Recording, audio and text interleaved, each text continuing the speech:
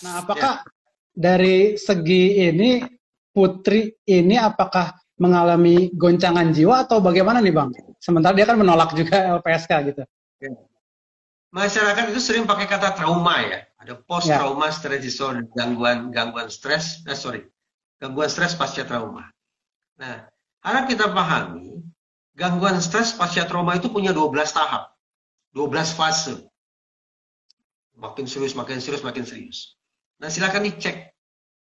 Ketika seseorang, kasus ini kasus secara umum, ketika seseorang mengaku sudah mengalami kejahatan seksual, kemudian dia mengalami trauma, mengalami guncangan jiwa yang dahsyat, sepatutnya dia tidak dimunculkan ke publik.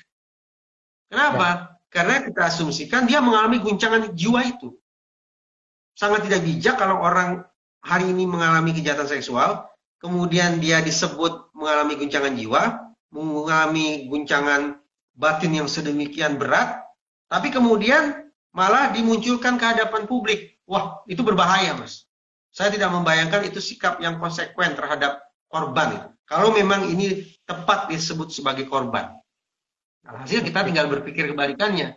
Kalau kemudian ada, misalnya, misalnya ada kejadian kejahatan seksual, kemudian anggaplah ada korban, korbannya disebut mengalami trauma, tapi kemudian korban dimunculkan ke media sedemikian rupa, maka kita lagi-lagi patut bertanya, ini korban atau bukan? Kejadiannya berlangsung atau tidak? Kalau memang iya, saya sekali lagi mengulurkan simpati kepada para korban. Tapi kalau ternyata ini malingering, ini hanya pura-pura trauma, tidak ada peristiwa kejahatan seksualnya, ya ini jadi persoalan hukum tersendiri, Mas. Medcom.id, a part of Media Group Network.